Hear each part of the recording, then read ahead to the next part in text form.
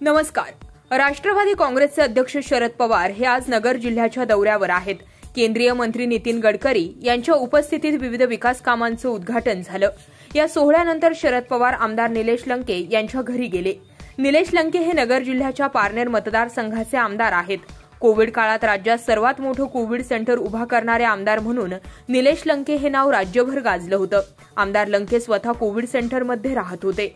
दरम्यान आमदार निलेश लंके यांच्या घरी शरद पवारांनी भेट दिली. लोकप्रतिनिधीचं घर म्हटलं तर मोठा बंगला. बंगल्यासमोर नोकर चाकर आलिशान गाड्या असं चित्र डोळ्यासमोर उभं राहतं. पण आमदार निलेश लंके यांचं घर अत्यंत साधं आहे. एक रूम त्यातच छोटं किचन आणि बाजूला बाथरूम अशी निलेश लंके यांच्या घराची रचना. आमदार लंके यांच्या या छोट्या घरात देशातील बडा नेता असलेले शरद पवार यांनी भेट दिल्यामुळे लंके कुटुंबीय भारावून गेले. शरद पवार ह्या लंकेंच्या घरी दाखल झाले. त्यांना बसण्यासाठी प्लॅस्टिकची खुर्ची ठेवण्यात आली होती. लाकडी कपाटाला टेकून ही खुर्ची ठेवली.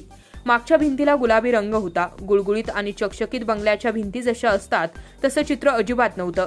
पवारांच्या बाजूला दोन खुर्च्या ठेवल्या होत्या. तिथे निलेश लंके यांचे आईवडील बसले होते. लोकप्रतिनिधीचं घर म्हटलं तर मोठा बंगला बंगल्यासमोर नोकर चाकर आलिशान गाड्या असं चित्र डोळ्यासमोर उभं राहतं. पण निलेश लंके यांचं घर पाहून हे आमदाराचं घर आहे यावर विश्वास बसणार नाही. अकराशे बेडचं कोविड सेंटर उभारणारे पारनेरचे आमदार निलेश लंके यांचं घर म्हणजे मोठा बंगला असेल असा अंदाज काहींनी लावला असेल पण प्रत्यक्ष लंकेंचं घर हे सर्वसामान्य व्यक्तीप्रमाणेच आहे.